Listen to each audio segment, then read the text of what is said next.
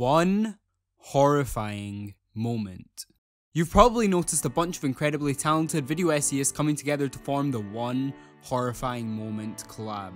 The reason why I'm joining in on all the fun is because Matt Draper came and invited me, okay that was a lie, I invited myself into this massive collab because man wanted to feel like a true video essayist. In all honesty though, I was gonna work on the fan film video and the fan film video alone, but since it's October and a bunch of other people are making videos about horrifying moments, why not make this video? By the way, if anybody wants to join in on the collab, just make a one horrifying moment video and contact Matt Draper from either YouTube or Twitter. And he will put your video in the playlist filled with talented people and one Hassan Hamid filmmakers, the people behind all your favorite movies, the people behind any movie to be honest, the people who pour so much heart and soul, so much passion, so much of themselves into their projects. We all have opinions on who our personal favorite directors are, but I think everyone, and I mean everyone, can agree there is not a more beloved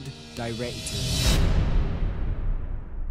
than David Fincher.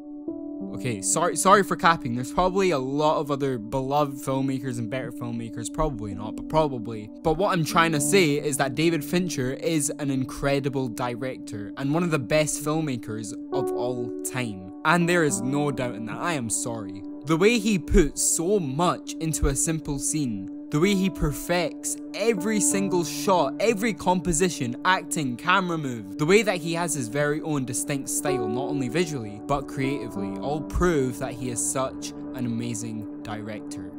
I could talk about his films and the passion he puts into every single one of them. I could talk about how much I love his movies. I could make a whole video essay series talking about how freaking great Seven was, or The Social Network was, or Fight Club was. I could talk about how insanely excited I am about his new film Mank, which is coming out soon to Netflix, and I'm so insanely hyped. But I wanted to dedicate this video to a scene from 2007's Zodiac, directed by David Fincher.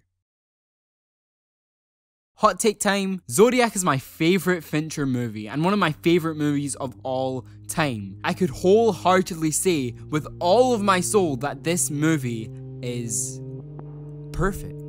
Honestly, I need to make a whole video on why I love Zodiac so much and why I consider it to be the best David Fincher movie. Zodiac is a lot of things, but something I wanted to tackle on in this video, and what I think the primary theme of the movie is, is obsession. How obsession is used to justify the acts of the characters. There are many different types of obsession in Zodiac, displayed by multiple characters. There's obsession, where the characters are willing to get what they want and hunt down this killer. There's over obsession, where the characters stop at nothing to get what they want and they push everything away, like time and family, just so they can finally accomplish anything.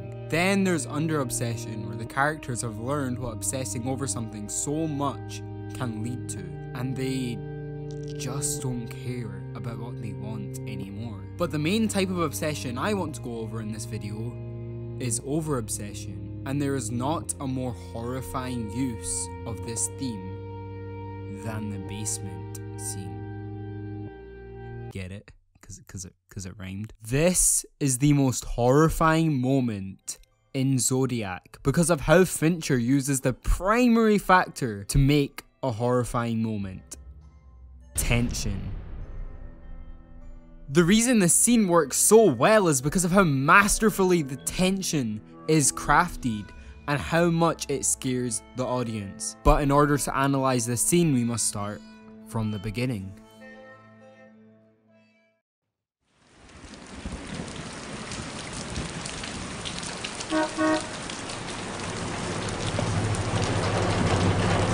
Mr. Vaughn? Mr. Graysmith? Yes.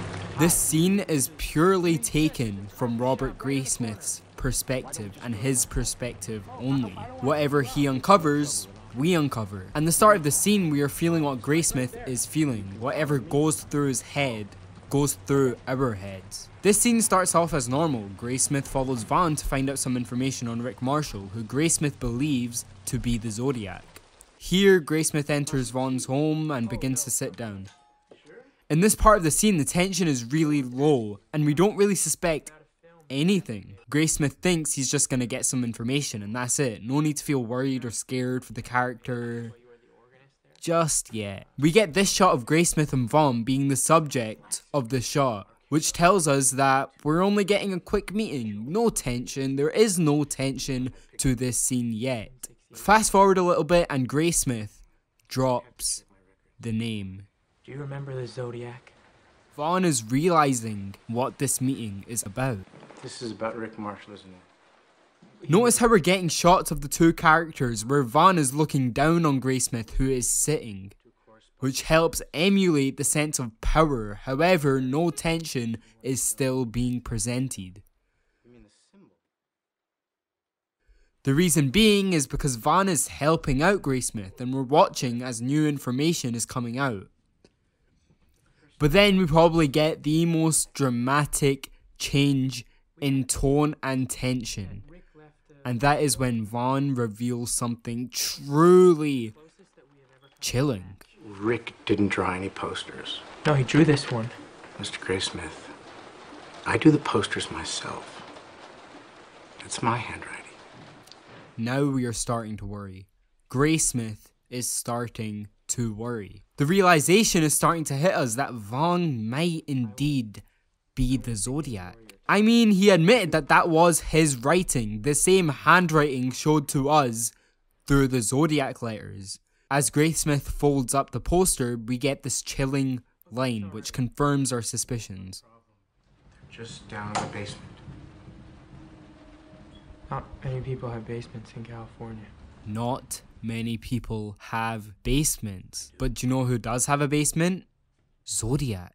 Notice how Vaughn is blurred, being eliminated by a single light. Vaughn is completely separated from Graysmith now, as he's turning out to be a suspect. We get this close up of Graysmith which shows us the true fear going through him, which goes through us. We are scared for his life. This shot is also very close to the camera because now Graysmith feels trapped with a killer, making the frame very claustrophobic.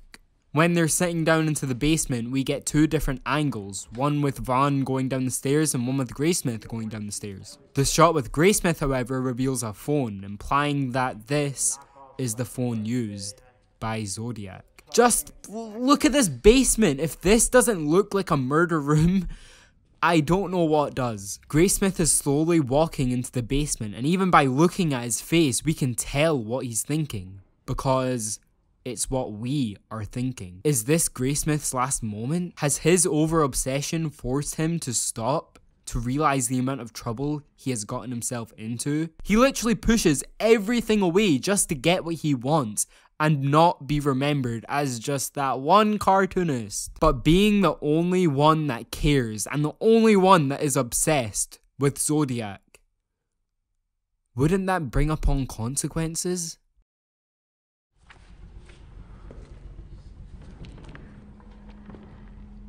This one single creak from above implies that it is not just Graysmith and Vaughn in the house. There is someone else here. Tension, tension, more and more tension. Vaughn looks menacing with his face half in shadow and his eyes completely dark.